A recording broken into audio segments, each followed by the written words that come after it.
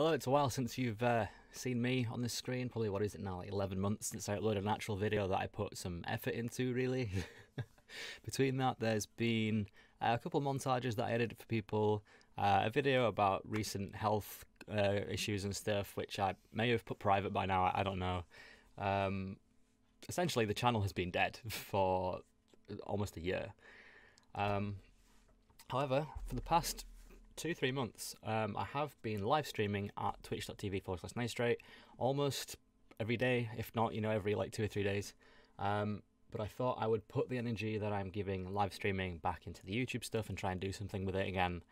Uh, so today I am following the theme that I've been going with for the past few weeks, which is playing Splitgate Arena Warfare, and I'm just going to give you sort of a rundown of what the game is and why you should still play it in 2020. The game came out last year. Um, it was quite popular when it came out, and then it slowly kind of like declined for multiple reasons. I'll go over that, and then I'll go over the updates and why you should try it out again. Uh, I've been streaming this game now every single day for the past 11, 12 days, something like that, uh, for about four hours each day, and I'm still not bored of it. So if you know, if that's a thing, then there's obviously there's things that they're doing right. Uh, the game's got something going for it. So yeah, let's just uh, jump into a few things. So before I jump into a game really quick, I'm gonna go through new things that have been added since I last played, uh, which was just after the beta finished in 2019. So since that, there's been two seasons. We're currently on season two. I don't think it says it anywhere on the screen, but this is season two. Uh, I'm not sure what the theme was for season one, but we've got this like beach theme going on uh, with one of the maps in the background. Uh, so stupid fly in my room. so, um, I think the fly's gone. um, we have the Arena Pass, which is something new for me. I think it was included last season as well. I'm, I'm assuming they're included with every season. The Arena Pass is ex exactly like uh, the Battle Pass from other games such as Call of Duty, Fortnite, um, uh, Fall Guys as well now. Any game that has that kind of thing. Um, so Splitgate added one to theirs as well. So, as you'd expect, you get things like gun skins, armor, customization, you know, um, cosmetics and stuff.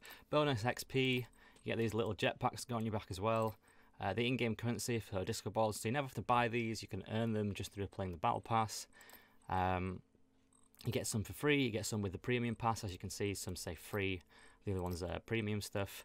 Uh, and when you get the battle pass, you get the first three items immediately uh, when you buy it. So, it doesn't cost that much either. Uh, there's sprays in the game, and then there is these little little portal devices. That one's not very uh, standouty on um, my skin because it's the same color, but you get it. It's that. Uh, and then they also have emotes as well, obviously. so to help you with the uh, Arena Pass, you've got some bonus XP. You get bonus XP for logging every day. So if I go to the streak here, I have a 16 day streak of playing the game uh, which means I get a 25% XP boost every single day. And then for checking in as well, you get bonus XP. And then for every seven days that you play, you get 100 of these Disco Ball in game currency. Five. So I'm going to jump into the game really quickly. I'm playing King of the Hill on the Helix. Uh, I did play this map in the beta, so this has been around for a while, but I think it's gone through a couple of like uh, visual changes and stuff. So while we play this game, I'm just going to go through what the game is like now uh, compared to how it was before, why people sort of like dipped off it, and um, why you should jump back on in 2020. So when I hopped onto the game uh, about you know just over two weeks ago now for the first time uh, since last year, the first thing I noticed is that the community is quite small. However, it's really like close knit. Everyone knows each other, and therefore because of that, everyone's quite friendly. Um, obviously, if it was a small toxic community, nobody would play the game. But there is an active, uh, I'd say, about 2,000 to 4,000 is the number that I heard uh, players on this game, which is still decent. You know, uh, casual games, you'll find a match within at most three or four minutes. Uh, they can be as quick as 20 seconds. And then ranked matches are a bit longer. Uh, I'd say my average time waiting to find a ranked match is probably about between five to 10 minutes uh, because I think ranked is sort of like four, 500 players playing ranked. Um, obviously, it depends on region and the time you play and stuff like that. Um, but because of the close-knit community, you will eventually see the same names in uh, lobbies and stuff, which can be quite fun. Um, you know, getting to know everyone. Uh, there's a Discord server, so everyone like talks in there, and uh, it could be quite fun. You know, just typing like spamming in the Discord or people's streams and stuff when you kill them in game and stuff like that. So just talking about the community a bit more, there's recently been the addition of community customs. So every Friday, uh, I'm not sure on the exact time. For me, it's 10:30 UK time, I think, either 10:30 or 11:30 UK time, depending on when daylight saving exists. Um, so for America, it's probably closer to like 2, 3 p.m. or something. Obviously, again, depending on your exact time zone because there's different regions. Uh, so every Friday, there is ice. Okay, well, I hit a body shot on that guy. um, so yeah, on Friday, there's community customs where uh, two streamers um, that are partnered with uh, 1047, which are the developers of the game, um, will be chosen to host a um, custom lobby.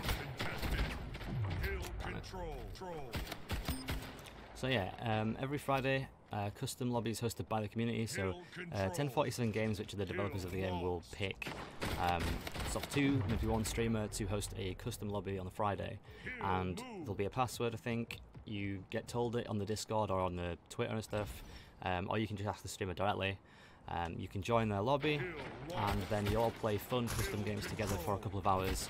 Um, I think last time I watched, uh, it was hosted by I watched DJ stream. He's one of the streamers who also streams every day, um, and they were playing this game where you sort of like run from one end of the map to the other. Uh, and there's one guy who's sort of the like infected player, and he has to try and snipe everyone running across. Um, and then they played a few others which were just like um, other sort of like infected modes where uh, everyone has shotguns and one guy has to try and like, run around and eventually you know kill everyone or something like that. Um, or you could just play uh, normal 4v4s against each other. You could play SWAT, you could play King of the Hill, you could play Oddball, or you can create your own sort of fun custom games together, put some rules in there, and uh, just have some fun for a couple of hours. And while you're there, you have the chance to earn disco balls, which is the in-game currency, uh, just for hanging out in the stream. Last time, a thousand were given away, which is the equivalent of like just over sort of 10 11 dollars um, if you were to buy them yourself. So there's that. You don't have to play; you can just view. Um, just for being there, you know, you'll earn the potential to uh, win something just by contributing to the community and stuff like that. This fly is back in my room as well. I'm gonna have to get rid of it. So one of the main reasons you should play is because there's no reason not to, and it's because the game is free, so you don't lose anything. You know, you're not going to pay a AAA um, fee, such as like 40 50 dollars, and then if you don't like the game by any chance, which I think is very unlikely, uh, everyone who plays it so far has pretty much give it positive reviews. It has uh, like a 9 point something out of 10 by IGN. The reviews on Steam are very positive out of like I think there's like between 9,000 to 11,000 uh, positive reviews on there. Um, so, very unlikely that you don't enjoy the game. It's fun. Very um, Halo, Quake, uh, Unreal Tournament vibey, you know, arena FPS. You can't go wrong. Look at all these guys here. Oh my.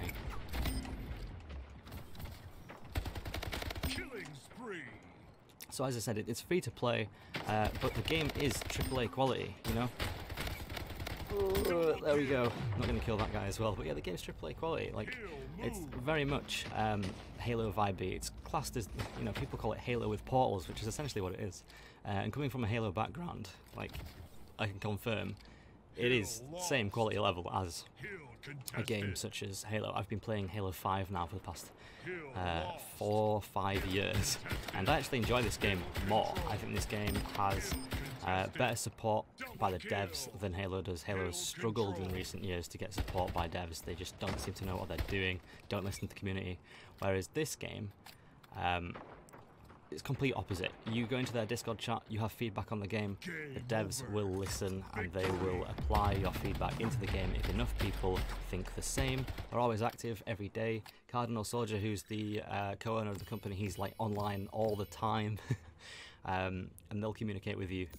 And yeah, they'll if you if enough people want something in, for example, a certain skin, or um, a certain game mode, or a new map, or anything such as like weapon tuning and things like that. If enough people want it, they will do it, and uh, obviously that's a good thing.